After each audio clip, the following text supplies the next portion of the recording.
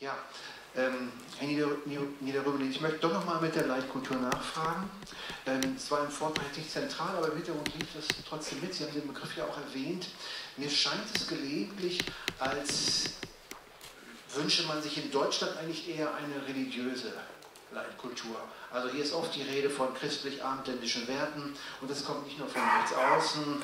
Die beiden christlichen Kirchen werden nach wie vor massiv vom äh, Staat unterstützt. Und ja, es ist quasi inflationär auch die Rede von äh, Dialogen der Religion, vom Dialog der Religionen. Ganz so, als ob es keine nicht religiösen Menschen geben würde, die auch an solchen Dialogen oder Problemen äh, mitdiskutieren wollten oder müssten. Oder ganz so, als sei es so, als könnten eigentlich nur Religiöse die äh, Probleme lösen und besprechen. Also was wäre dem gegenüber eine humanistische Leitkultur? Und vielleicht auch die Frage noch dahinter, ähm, äh, ähm, wird vielleicht eine humanistische Leitkultur sogar besser passen zu einer ja, Demokratie als Lebensform als eine religiöse Leitkultur? Naja, die Antwort wäre für mich ganz einfach. Die Antwort ist ja. Also ich will mal äh, vielleicht irgendwie die, die Pointe ein bisschen offenlegen. Also der Punkt war ja der, ursprünglich kam der Begriff Leitkultur durch Bassam Tibi in die Welt.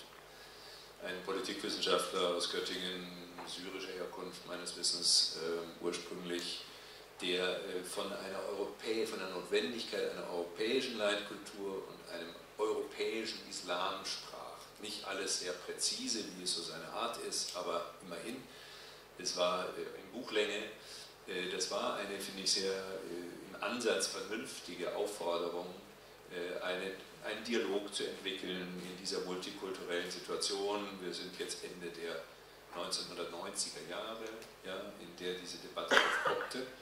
Und dann hat sich äh, Merz, der damalige Fraktionsvorsitzende der CDU-CSU, dieses Thema zu eigen gemacht, um da ein, ein, ein, ein Kampagnenthema äh, draus zu machen. Mit der trickreichen, der ist nicht ganz dumm, der Merz, ja, mit der trickreichen Idee, wir setzen da ein Prädikat davor, nämlich Deutsch. Von Deutsch war bei Bassanti nie die Rede, von Europäisch, was auch schon nicht ganz unproblematisch ist, aber von Deutsch war nie die Rede. Und damit bekam das Ganze eine ganz merkwürdige Wendung. Alle meine mir politisch nachstehenden, halbwegs vernünftigen Menschen waren auf der Palme und sagten, Gottes Willen, Leitkultur, wir brauchen keine Leitkultur. Ja. Und da habe ich gesagt, ich sage es jetzt nochmal ganz äh, boshaft, äh, meine Hauptkompetenz ist eigentlich nicht äh, wissenschaftliche Forschungsarbeit, habe ich auch ein bisschen was geleistet, sondern ist politische und philosophische Urteilskraft.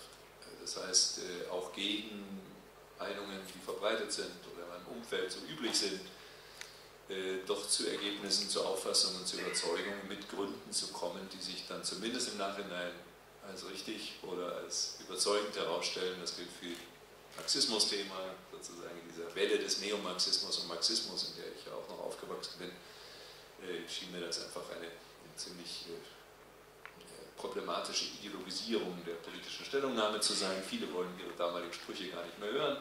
Also um Gottes Willen, ja, man rede mal mit Remsmar oder mit Trittin oder mit Vollmar, alle K-Gruppler, ja, die irgendwie Erlösung von China oder Kambodscha oder sonst woher erwarteten. Intelligente Menschen, wie kann sowas passieren? Und ich habe mich da immer regelmäßig sehr unbeliebt gemacht mit dieser Eigenschaft und das betrifft auch das Thema Leitkultur. Ich habe gesagt, es ist falsch, wenn die politische Linke in einer reflexartigen Reaktion auf die Instrumentalisierung dieses Begriffs so tut, als gäbe es keine kulturelle Dimension demokratischer Politik. Das ist die These. Und deswegen ist auch die Reaktion auf die jetzt noch Wiederaufwärmen dieser Debatte falsch zu sagen, nein, es gibt überhaupt keine kulturellen Bedingungen, Kultur spielt keine Rolle. Nein, natürlich spielt Kultur eine Rolle. Wir brauchen, und das war die Pointe dieses Buchtitels, das war ja nur ein Buchtitel, über den meine politischen Reden, äh, unter dem meine politischen Reden erschienen sind, 2006 vom CH Beck Verlag. Ähm, Humanismus als Leitkultur. Die Pointe ist, dann gibt es per Definition keine deutsche Leitkultur, auch keine europäische, weil der Humanismus ist universalistisch und kosmopolitisch. Ne? Haben die wenigsten verstanden, auch Wolfgang Thierse nicht. Er hat sich wahnsinnig darüber aufgeregt, dass ich diesen Begriff in dieser Weise aufgreife. Ähm, also das zum Thema äh, Leitkultur. Ich glaube, wir brauchen eine Debatte über die kulturellen Grundlagen zivilen Zusammenlebens. Diese Debatte sollte orientiert an den Werten der Humanität sein, sollte also für ein humanistisches Verständnis dieser kulturellen Einbettung demokratischer Praxis ausgerichtet sein. Und dafür gibt es gute Argumente.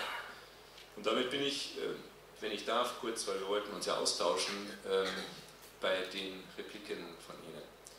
Also bis auf eine Replik bin ich mit allem, was Sie gesagt haben, einverstanden.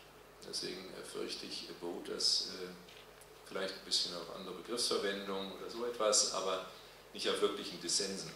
Also mir braucht man zum Beispiel nicht sagen, wie wichtig die Ökonomie ist. Ich gehöre ja zu den letzten Mohikanern, die sagen, auch die Agenda-Reformen waren aus ökonomischen und sozialpolitischen Gründen bei viel Schattenseiten, aber insgesamt sinnvoll. Es gab ökonomische und soziale Gründe, hier etwas zu verändern. Ist hoch umstritten, die meisten werden hier anderer Meinung sein.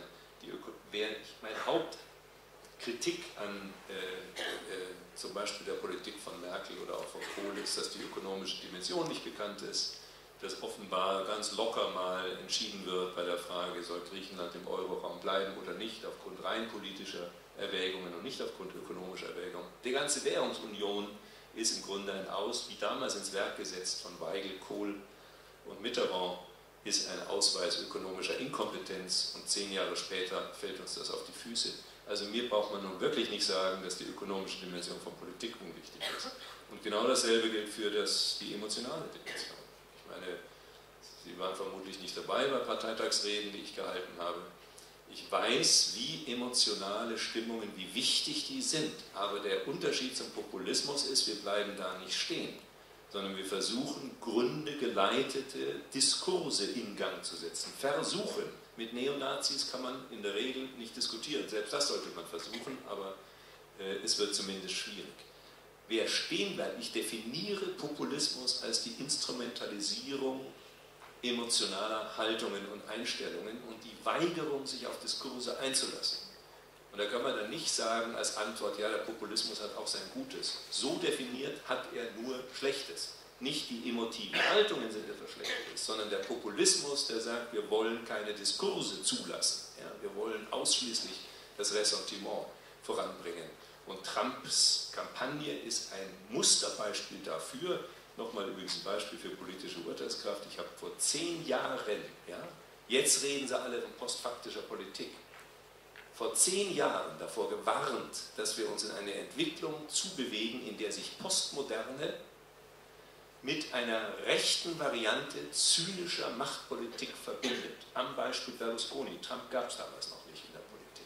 Da haben sie mich alle angeschaut und gesagt, wie ich auf die Idee komme, dass Postmoderne was mit Berlusconi zu tun hat. Ja, Berlusconi macht postmoderne Politik. Er erfindet Wahrheiten. Er schaut auf die Effekte von Botschaften. Es geht nie um Fakten, nie um Argumente. Das ist die zivilere Variante. Bei Trump haben wir jetzt mal gelebt, äh, erlebt, wozu das führt. Der Titel des Buches heißt Demokratie und Wahrheit. Ja, Demokratie und Wahrheit. Zehn Jahre zu früh gekommen. Jetzt haben wir den Schlamassel.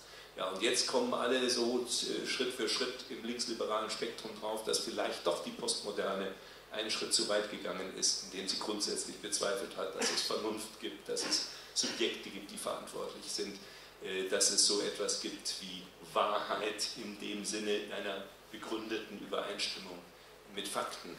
Äh, jetzt erodiert das. Nicht? Es gibt einen neuen Realismus gegenwärtig.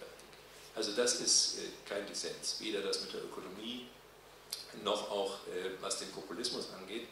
Es gibt einen Punkt, ähm, in der Tat, das ziehe ich mir gerne an, überschätze ich nicht die Vernunftfähigkeit der Menschen. Sie hatten das als Rationalismus oder wie haben Sie es genannt bezeichnet.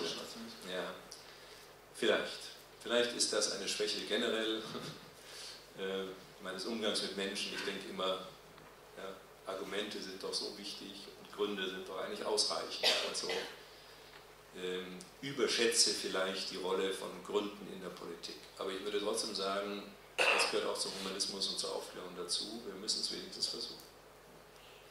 Und wenn es nichts bringt, gibt es am Ende eine Machtauseinandersetzung oder im schlimmsten Fall, wie bei den entstehenden gewalttätigen Auseinandersetzungen der Weimarer Republik war es ein großer Fehler der Sozialdemokratie, nicht mit Leonard Nelson, Nelson zu folgen, nämlich da auch sich auf Gegengewalt vorzubereiten.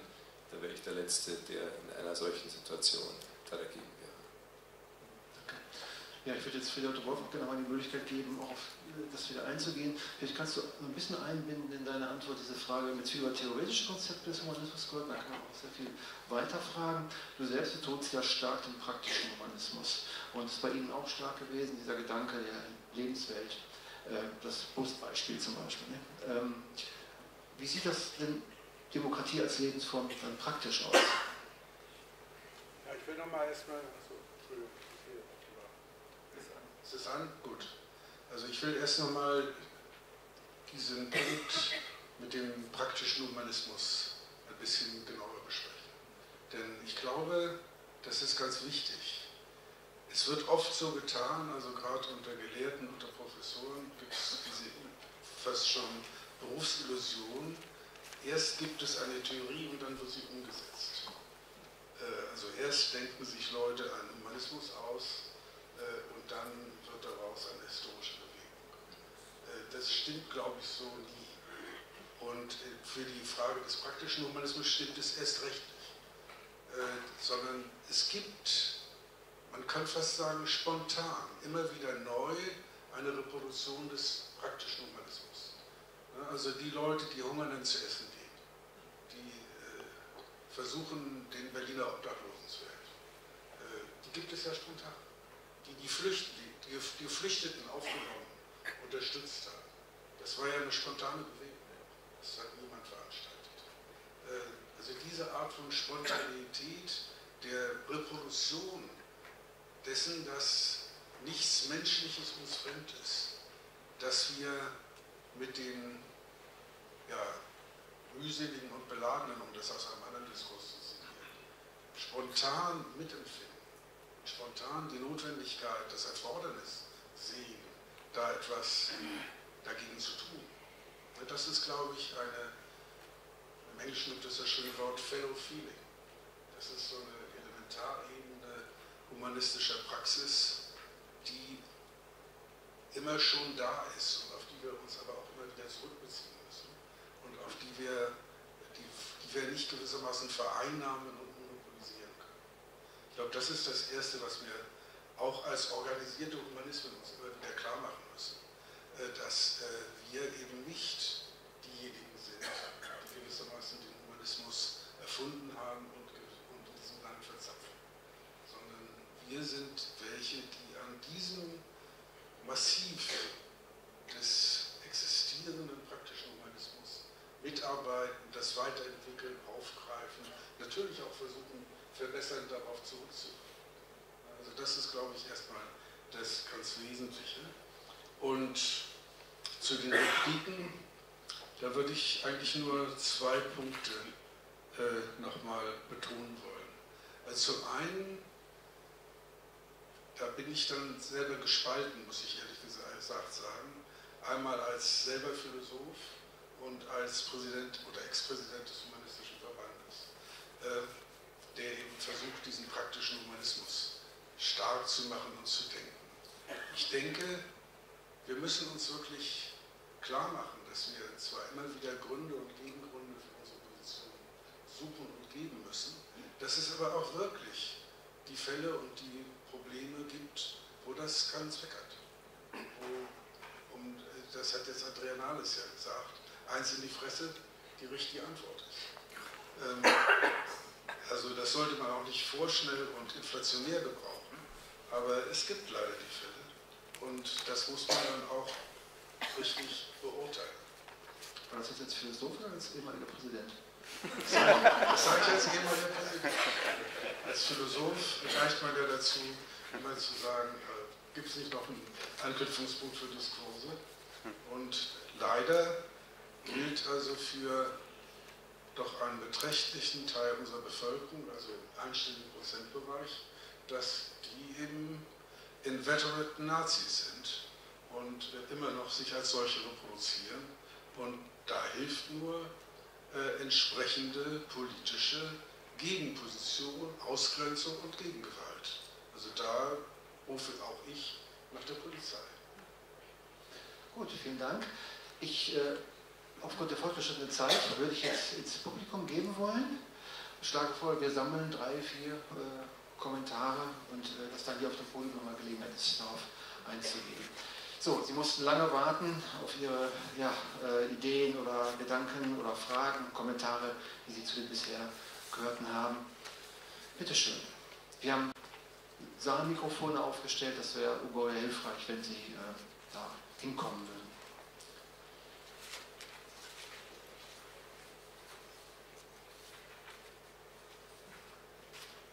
Die Finanzkrise war schon angesprochen worden.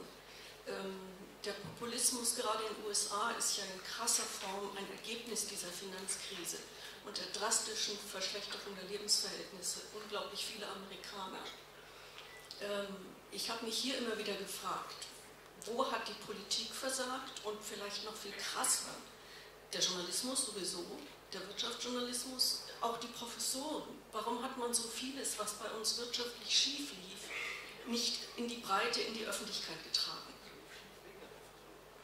Auch. Ja, vielen Dank.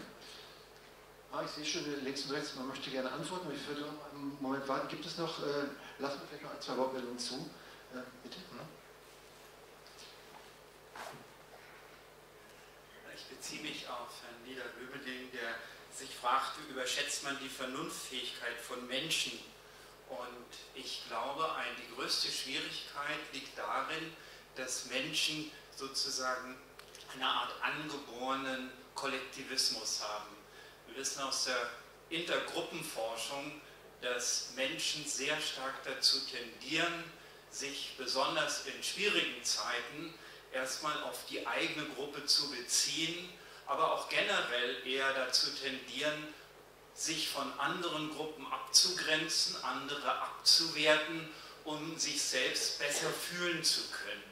Und das heißt, die große Frage sehe ich jetzt darin, wie kommt man darüber hinaus? Wie kann man wirklich zu einer universalistischen Gruppenvorstellung zu kommen? Ist das überhaupt möglich und wenn ja, wie?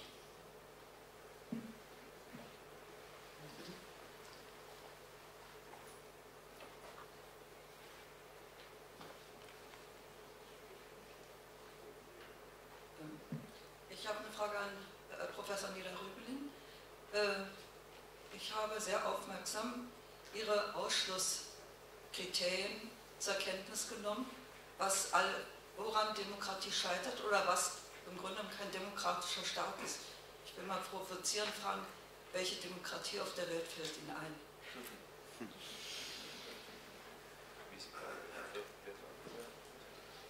Fangen Sie mal an. Also, äh, zum, zur ersten Frage Weltfinanzkrise. Das ist übrigens ein gutes Beispiel zu unserem Dissens, wenn es dann ein Dissens ist, äh, zur Illustration. Natürlich spielen da äh, Interessenlagen eine ganz wichtige Rolle, aber spielt auch die Theorie eine ganz wichtige Rolle. Die Dominanz des sogenannten Neoliberalismus, ich verwende den Ausdruck nicht so gern, weil Liberalismus ist eigentlich nicht Schlechtes erstmal, aber Neoliberalismus ist die Theorie, am besten ist alles Markt. Am besten sind alle Interaktionen des Menschen ökonomische Marktverhältnisse. Äh, das hat mit dem Ordoliberalismus nichts zu tun. Ordoliberalismus ist eigentlich eine Gegentheorie, jedenfalls, wenn man es richtig versteht, nämlich im Sinne der Freiburger Schule. Ähm, und diese Theorie, die Theorie, dass der Markt mit Pareto-Effizienz und so weiter, das haben wir jetzt nicht die Zeit, das auszuführen, am besten Interaktionen von Menschen steuert, die hat über die Jahre und Jahrzehnte gewirkt. Es ist geradezu grotesk zu beobachten, die jüngsten Stellungnahmen des Internationalen Währungsfonds und so weiter. Auf einmal haben die Neo-Keynesianer dort die Oberhand gewonnen, auf einmal behaupten sie oder stellen sie Thesen auf, die genau diametral entgegengesetzt sind zu dem, was sie jahrzehntelang behauptet haben. Das heißt, diese neoliberale, nennen wir es jetzt mal vereinfachend so, Agenda hatte etwas mit Theorie und mit der Dominanz der sogenannten Neoklassik in den Economy Departments in dem angelsächsischen Raum zu tun. Es hat erstaunlich lange gedauert, bis das politisch wirksam war. Das war nämlich im Grunde schon seit Ende der 50er Jahre so und setzt sich dann mit Thatcher in Großbritannien, Reagan in den USA, Ende der UNCTAD-Verhandlungen zum Beispiel, United Nations Conferences on Trade and Development und so weiter und dann solche merkwürdigen äh, Handelsverträge, die dann an die Stelle dessen treten, TTIP war ja nur das, der letzte Akt vorgesehen, der jetzt gescheitert ist an Trump. Diese ganze Entwicklung hat sehr stark mit Theorie zu tun. Und die massiven Fehleinschätzungen, die mit dieser falschen Theorie einhergehen, haben diese Finanzkrise wesentlich mit getriggert. Der Greenspan, einer der zentralen Akteure der Krise, ja, hat gesagt, ich habe gedacht, ich zitiere ihn ziemlich wörtlich, in einem Interview nach der Finanzkrise, ein Egghead, ein hochintelligenter Mann, ich habe, ich habe nicht gedacht, dass die Weltfinanzmärkte ohne Regeln auskommen, sagte Greenspan in einem Interview. Aber ich habe gedacht, dass die Finanzmärkte diese Regeln selbst hervorbringen. Das ist ein bemerkenswerter Denkfehler. Dazu gilt mehr zu sagen. Das kann nicht sein. Aus sehr einfachen, spieltheoretisch beweisbaren Gründen kann es nicht sein, dass auf den Märkten die Regeln sich etablieren, die da Stabilität das ist ein Denkfehler dieses Ansatzes und dieser Denkfehler hat eine wichtige Rolle gespielt für eine ganze Reihe von politischen Fehlentwicklungen, unter anderem die äh, Weltfinanzkrise. Äh, ähm, zweiter Punkt war Gruppen. Ja, ich kenne das Argument, man muss dem Argument gegenüber sehr vorsichtig sein. Also äh, ich kenne auch diese empirischen Studien, wir hatten so ein Humanprojekt in Berlin, kann man auch nachlesen, Dick Reuter, Reihe, Buchreihe, Romanprojekt. Ähm, das alles sind hochinteressante Informationen. Aber daraus zu schließen, aha, dann ist die Forderung zum Beispiel nach gleichem Respekt, gleicher Anerkennung, unabhängig von Gruppenzugehörigkeiten, nicht vernünftig. Würden Sie wahrscheinlich nicht ziehen. Ja, so à la Konrad Lorenz, der Mensch ist eben aggressiv und die Einhebung von Aggression ist völlig sinnlos. Ich verkürze jetzt etwas. Äh, das kann es nicht sein. Also diese Art von Biologismus äh, ist auch eine Gefahr für den Humanismus. Aber ich gebe sofort zu, humanistische Theorie und humanistische Praxis äh, hat mit Widerständen zu kämpfen.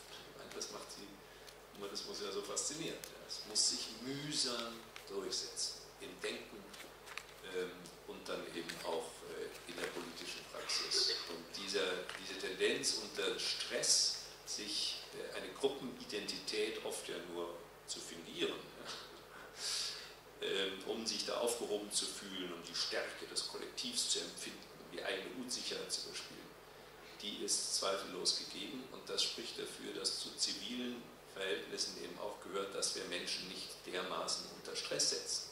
Das ist vielleicht eine der wichtigen Botschaften.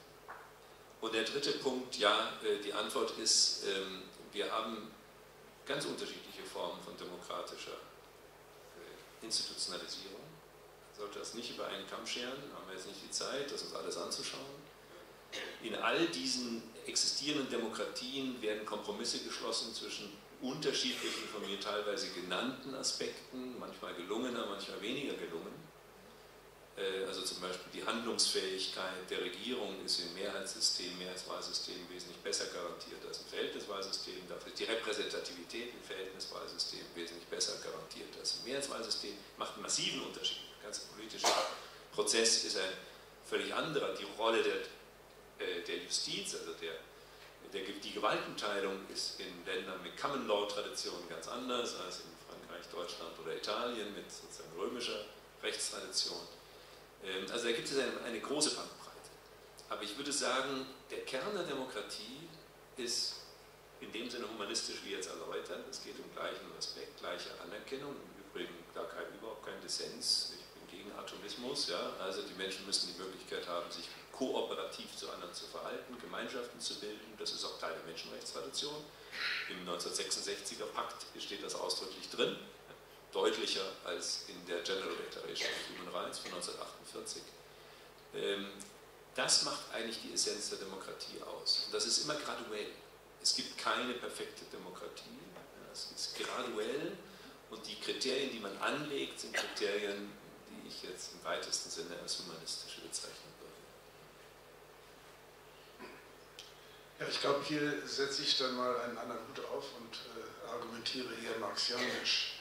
Also ich glaube, das Problem ist, dass wir nicht über Herrschaft gesprochen haben bisher. Es gibt Herrschaftsstrukturen, auch in demokratischen Verhältnissen äh, und auch überdemokratische Verhältnisse. Und mit, über die muss man reden und man muss darüber reden, wie man die knacken kann. Es geht um deren Überwindung. Ich glaube, auf der Ebene äh, sind wir noch bei dem gemeinsamen humanistischen. Dann brauchen wir natürlich Theorien darüber, wie diese Herrschaftsverhältnisse funktionieren. Und da geht es dann auseinander. Also sind das Klassenstrukturen, sind das Geschlechterherrschaftsstrukturen, sind das quasi koloniale, imperiale Strukturen. Ich würde behaupten, ist, die Frage ist falsch. Es ist alles drei. Die Frage ist, wie sich das zueinander verhält und wie man das theoretisch begreifen und dann erklären kann. Also jedenfalls einfach damit, dass man sagt, da sind wir uns offenbar einig, äh, wir stellen den Markt her und der wird das schon richten. Äh, da reproduzieren die Verhältnisse sich dann noch verschärft. Und hier wir dann müssen wir dann in der Tat von sowas reden wie, ja, man könnte sagen, was ist das Finanzkapital? Was sind die kleinen Gruppen, überschaubar, auch dann Querverbindungen in die verschiedenen Regulierungsinstitutionen, die tatsächlich hier entscheidende Macht in den Händen halten und von demokratischen Mächten auch gar nicht erreicht werden. Sowohl in der Europäischen Union als auch auf der globalen Ebene gibt es solche Machtballungen. Und mit denen müssen wir uns auseinandersetzen. Und die müssen wir als solche identifizieren und äh, Wege finden, und das ist auch nicht einfach, dagegen tatsächlich auch zu mobilisieren. Und das ist in der Tat eine humanistische Aufgabe, da würde ich Ihnen auch zustimmen. Aber es ist eine humanistische Aufgabe, die da nichts zu tun hat mit dem, sagen wir, feiertäglichen Humanismus, der bei Festakten äh, von allen gerne gehört wird, sondern da wird es dann auch richtig unangenehm. Und da wird es auch richtig streitig. Äh, das, denke ich, berührt dann auch die Frage der Vernunftfähigkeit. Diese herrschende Klasse, um das jetzt mal ganz zugespitzt zu sagen, ist selbstverständlich vernunftfähig. Aber sie sieht es nicht ein, warum sie ihre Herrschaft abgeben soll. Man kann sagen, dass es letztlich unvernünftig ist, herrschen zu wollen. Das lässt sich argumentieren. Aber das Argument ist gegenüber den vielfältigen Vorteilen, die es birgt, zu herrschen, offensichtlich schwach. Kann Herrschen auch vernünftig sein? Das hören wir jetzt erstmal auf. Offen meine ich. Äh, wir haben noch Zeit für eine zweite Runde. Ähm, wer möchte noch? Ich würde gerne einen Satz von Naomi Klein, den sie auf der Labour-Konferenz diesen Jahres geäußert hat, Ihnen vorstellen. Sie hat gesagt, dass sie den Neoliberalismus vor allem als über 30-jährigen Angriff auf die kollektive Imagination ansieht und damit darauf angespielt, dass zum Beispiel in den USA solche Programme wie von Bernie Sanders propagiert, dass zum Beispiel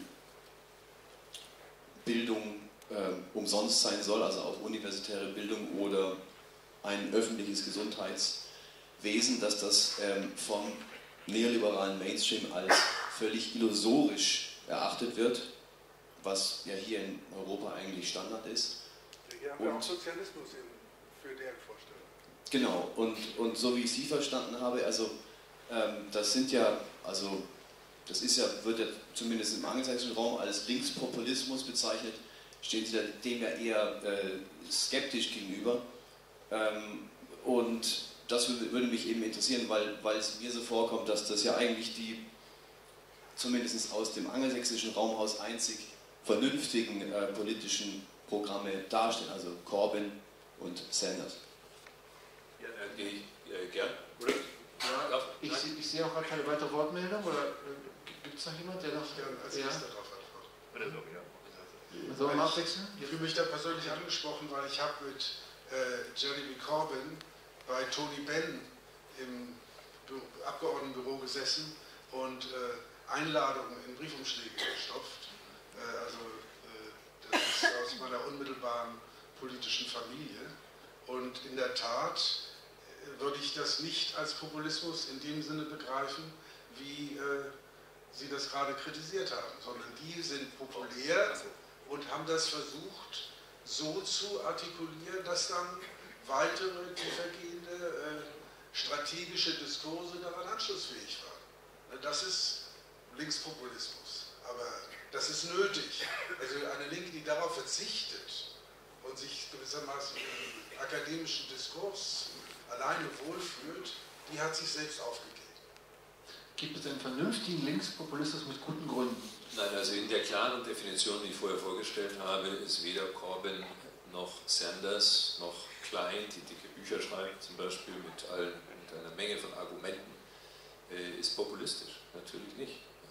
Das sind im Gegenteil, das sind Versuche, man muss ja nur mal so reden, sich anhören, oder von Noam Chomsky oder so, um einen extremen intellektuellen Vertreter der Linken zu nennen, wo er gegen den, das ist amerikanische Universitätssystem wettert, findet man sofort bei YouTube, Chomsky und so geht es um die Tuitions und ähm, da äh, wird mit präziser Logik seziert, was für Folgen dieses System hat für die soziale Situation und die Bildungssituation in Amerika. Das ist doch kein Populismus. Nicht deswegen, weil etwas links ist, ist es populistisch. Das mögen manche Leute Zeitungsartikeln so nennen, aber ich nenne es natürlich nicht so. Populismus ist eine äh, Position, die äh, den Argumenten gegenüber skeptisch ist, die an Emotionen appelliert und sich auf den Diskurs nicht einlässt. Das kann man weder von Sanders noch von Corbyn sagen. Also insofern ähm, geht das an der Sache vorbei. Etwas anders sieht es aus in Venezuela zum Beispiel. Chavez, das ist schon eher ein äh, Fall von Linkspopulismus, der mit dem so Aufpeitschen von Stimmungen Politik gemacht hat, was am Ende auch ziemlich daneben gegangen ist. Dieser Linkskaudilismus, wie man ihn vielleicht nennen kann, äh, der hat, glaube ich, äh, der hat in der Tat diese problematische Seite. Aber ich will noch, mich nicht drücken vor dem noch schwierigen inhaltlichen Punkt. Ich glaube, also einerseits freue ich mich, ich bin also hin und her gerissen. Äh, einerseits freue ich mich, dass es äh, offenbar unter den, gerade in der jüngeren, kritischeren Generation eine Sehnsucht gibt nach Menschen, die authentisch für bestimmte Ziele stehen, für mehr Gerechtigkeit, für äh, eine andere Welt, auch mit weniger Kapitalismus. Die Verstaatlichung von Schlüsselindustrien ist jetzt wieder Thema in der Labour Party in Großbritannien. Das haben die Älteren von uns noch in Erinnerung von User-Parteitagen. Ähm, das finde ich erstmal schön. Und es hat noch so einen Nebenaspekt, dass offenbar so ein Generationensprung stattfindet, nämlich die 25-Jährigen dann den 70-Jährigen mehr vertrauen als ihren Eltern. Also, dass gewissermaßen da so eine Art äh, Sprung entsteht, was mich etwas skeptisch macht ist, äh, dass die Politikkonzeption, wenn man es genauer anschaut, im Wesentlichen auf Erfahrungsmustern der 1970er Jahre beruht. Und das geht, so eine lange Geschichte kurz zu machen, das ist, hängt mit der ökonomischen Kompetenz zusammen, über die wir reden müssen. Das ginge total schief. Also die Empfehlung, die Staaten sollen doch jetzt wieder mal üppig ins Deficit Spending gehen, um mal ordentliche Wachstumsraten zu ermöglichen und Umverteilungsspielräume zu schaffen, heißt unter den heutigen Bedingungen, man würde diese Länder in die Abhängigkeit der Weltfinanzmärkte hineintreiben. Und darüber muss man auch reden. Also sozusagen, die Sache ist irgendwas schiefgegangen im dritten Weg, das sehe ich genauso übrigens, verstehen Sie die Bemerkung von vorher nicht falsch. Der Neoliberalismus hat viel zu massiv die politische Agenda sozialdemokratischer Parteien, auch der demokratischen Parteien in den USA unter Clinton und Blair in Großbritannien und Schröder in Deutschland geprägt. Die Abschaffung der Körperschaftssteuer, die Absenkung des Spitzensteuersatzes, die Privatisierung öffentlicher Dienstleistungen, mehr in Großbritannien als hier. Also das war alles ein Irrweg, allerdings man muss fairerweise sagen, in, aus der Defensive heraus, sie waren in die Enge getrieben und haben zu weit nachgegeben. Ähm, aber daraus jetzt zu schließen, dann war das, was wir vorher hatten, sagen wir mal Mitterrand mit der Übernahme der PS- und KP-Regierung unter äh, Staatspräsident, französischen Staatspräsident Mitterrand, das wäre die richtige Politik. Vorsicht, das glaube ich funktioniert nicht, da muss man genau hinschauen. Wir müssen diesen Schritt, das ist jetzt sehr politisch, was ich sage, aber das darf ich ja vielleicht, zumal ich schauen muss, dass ich aus der Ecke, in der mich Frieder Otto Wolf gestellt hat, des rein freischwebenden, idealistischen Intellektuellen wieder rauskomme. Ich glaube, wir brauchen da einen genuin mit ökonomischer Kompetenz gesättigten äh, politischen Diskurs, der die Linke zukunftsfähig macht. Und das sehe ich leider bei diesen Entwürfen auch noch nicht so sympathisch, wie vieles daran ist. Nachfrage, ja. warum haben Sie Chomsky jetzt als extrem bezeichnet? Naja, er gilt als, äh, im politischen Spektrum als extrem links so links, dass also äh, frühere Linksbündnisse Chomsky nicht einladen wollten, weil er als Anarchist oder Syndikalist galt. Äh, in dem Sinne meinte ich das jetzt lediglich. Aber Chomsky ist ein Intellektueller, wirklich vielleicht der größte lebende Intellektuelle und seine Argumentation ist beileibe nicht populistisch. Ins US-Fernsehen darf er bis heute, trotz der Popularität wird er nie eingeladen. Genau, ich weiß. Aber extrem muss nicht unbedingt schlimm sein. So, ähm, wir wollen im zweiten ähm, Panel, um das Pünktlich um 18.15 beginnt, uns ja ein bisschen konkreter ähm, Strategien zuwenden. Deshalb fällt die Abschlussfrage an Sie beide. Wenn Sie mit einem Satz jetzt die Frage beantworten müssten, was sind denn die richtigen humanistischen Antworten auf den Autoritarismus? In einem Satz, was würden Sie sagen? Befreiung ist immer berechtigt. Noch kürzer, als ich zu erwarten gehofft hatte? Also ein Satz, nachdem wir versucht haben, die Dinge etwas auszudifferenzieren, ist eigentlich ein bisschen ein Rückfall, ja, weil die Dinge ein bisschen komplex sind. Mir fällt nicht ein Satz ein, sondern die These, Plädoyer für eine, einen erneuerten Humanismus besagt, wir sollten diese normativen Inhalte, die wir ein bisschen besprochen haben heute, des Humanismus, äh, in Form einer politischen Programmatik konkretisieren. So als ein philosophischer Entwurf hängt es in der Luft. Das muss sozusagen substanziiert werden durch eine konkrete politische Agenda. Und nur das kann dann den Humanismus so erneuern, dass er dann auch wirklich praktisch wirksam wird. Ich will doch noch einen Kommentar dranhängen. Ich glaube, das ist in der Tat als Grundkonsens, der für eine breite Linke verbindlich ist, notwendig. Allerdings sollten wir die breite Linke dann nicht auf die Sozialdemokratie verhängen, sondern tatsächlich bis hin zu den anarchistischen äh, Strömungen diese Linke mitdenken. Sehr schön, jetzt wird es richtig politisch. Ähm, vielleicht gehen wir im zweiten Panel noch weiter diesen Weg gleich, den Sie aufgezeigt haben. Ihnen beiden hier auf dem Podium vielen Dank für die Antworten und vielen Dank für die Vorträge und die Replik. Ihnen im Publikum vielen Dank für die Aufmerksamkeit und die tollen Fragen und Kommentare. Bis gleich.